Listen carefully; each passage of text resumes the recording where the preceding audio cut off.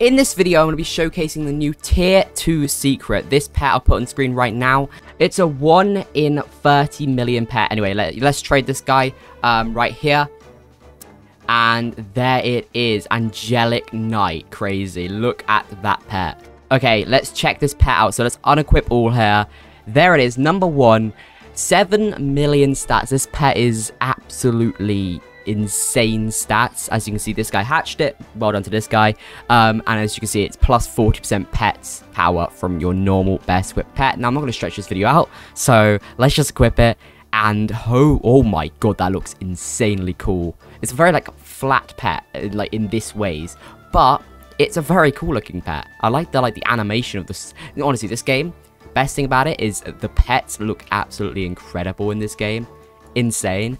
But yeah, this pet is really cool. Let's go over to the new medieval world here and check out what it looks like uh, in the medieval world. As you can see, it's in its natural habitat now. Not really. I don't really see how this thing is that medieval. I understand it's a knight, but it's also angelic. So, mm, is it really medieval? I don't know, but I'm not complaining because this pet looks very cool indeed. There's not much more to do here. I don't want to give this guy a heart attack or anything or make him, oh, well, I need to unequip this pet or make him think I'm scamming him. So let's just give it back.